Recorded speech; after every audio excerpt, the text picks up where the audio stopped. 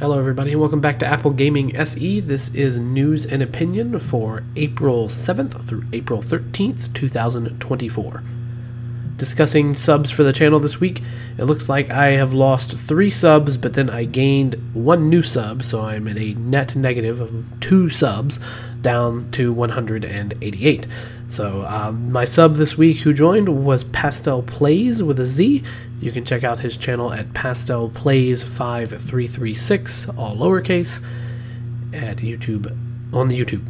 So, um, that being said, we'll jump into the stories from here. So, Apple could finally get its wish for a federal privacy law.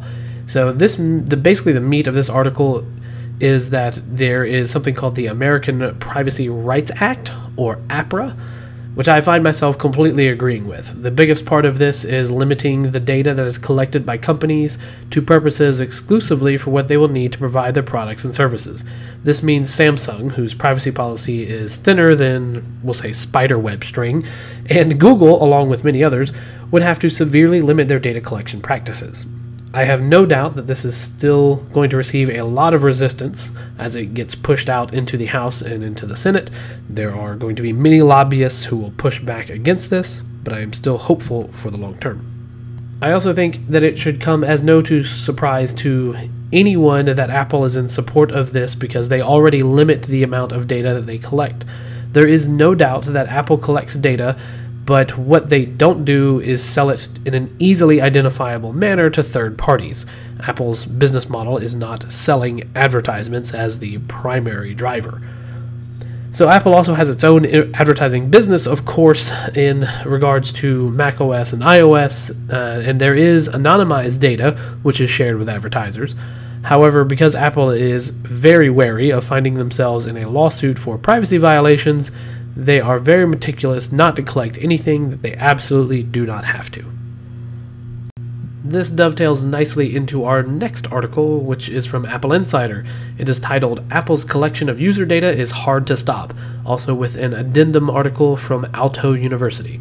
So, everything that I just said, I feel like I'd be remiss if I skipped over this story. Apple does not always make it quite obvious what they are and are not collecting. I personally was very surprised to see that some of the results of this study from Aalto University. The segment specifically, and I'll just quote it. Quote, one example is that users are given the option to enable Siri, but the option only enables whether Siri's voice control is used, and that Siri still collects data in the background regardless of the user's choice.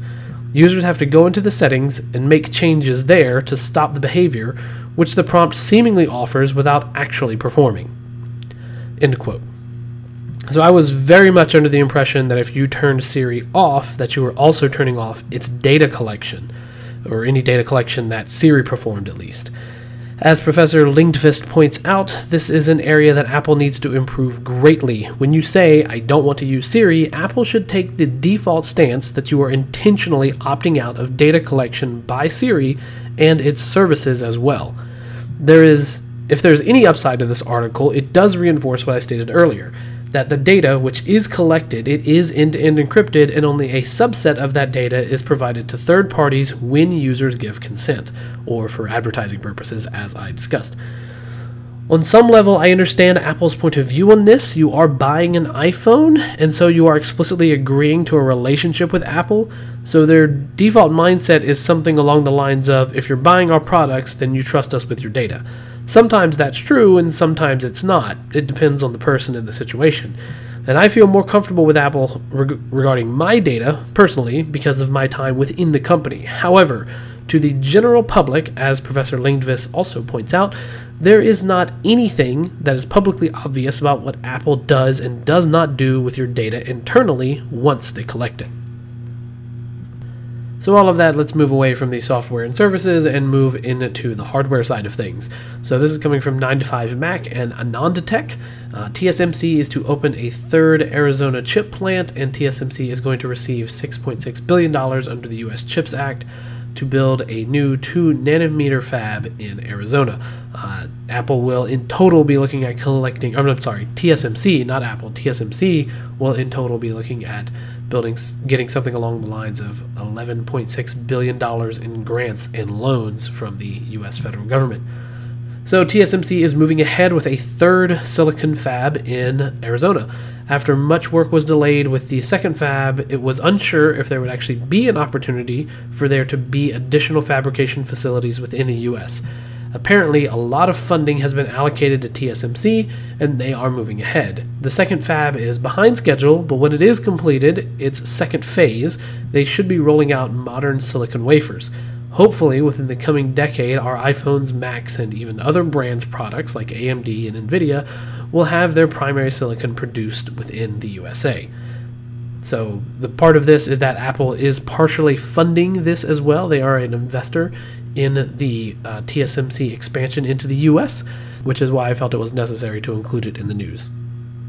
Okay, last topic for this week is coming from the Apple Newsroom and AppleInsider.com. Apple is expanding their repair options with the uh, support or the allowance of used parts in iPhones starting later this year. So, what I was originally thinking about when I was including these stories was uh, I was kind of thinking in my head, you know, this is going to end on a not so bad note for Apple. However, I actually have to say that I think this is a great story for Apple owners and small repair businesses. So, I think this is a great story to include for Apple. And so, we're going to end on a high note. Um, the updates for this is just for the bullet points on this. Uh, the updates for the iPhone self-service program is going to be limited to the to certain iPhone models. Don't know which models yet, and that will be later in 2024. You can repair your iPhone using used or scavenged parts. You won't be able to use parts from a device that is activation locked. Apple will not sell used parts, only new parts. Biometric sensors will be able to be replaced with a used part as well. Serial numbers won't be required when ordering parts through Apple's self service repair program. Logic boards will still require a legitimate serial number to function. Batteries seem to be a mixed bag. There's some confusion regarding this from different stories online. From what I can gather, used genuine Apple batteries can be swapped between devices, but third party batteries will still issue a notice that the battery is not a genuine Apple battery and will warn you that it may not produce its peak performance. And lastly, which is the coolest piece of all of this, your iPhone will now show a service history, so you'll know all of the parts that have been used to fix the phone and if those parts were new or used.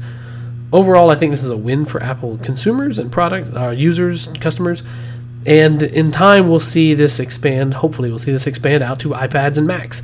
I'll be able to buy parts on eBay again to fix my friends' and family's iPhones. Yay! I don't know if I'm excited about that or not. I think the biggest thing about this that surprised me, however, is the biometric sensors. I honestly thought, because of the way these sensors operate, that they would not be able to be swappable between devices because your biometric hash data is stored on them. So if you can swap them, it's kind of like, uh, I don't know. That being said, I mean, for a long time, it's been known that when you reset an iPhone, everything since the iPhone 4S, when you reset the iPhone, the iPhone itself actually does not the the NAND flash chip is not actually erased, like it's not actually zeroed out.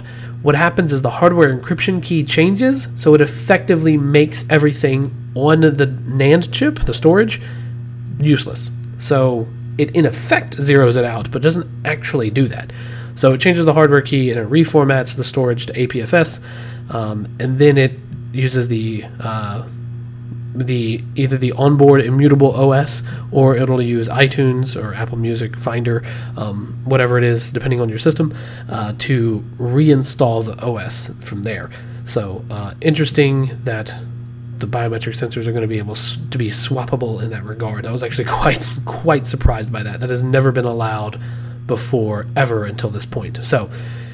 Uh, that's it for news and opinions for this week. Hopefully, you have enjoyed it and I look forward to seeing you all in the next news and opinions video coming up next week.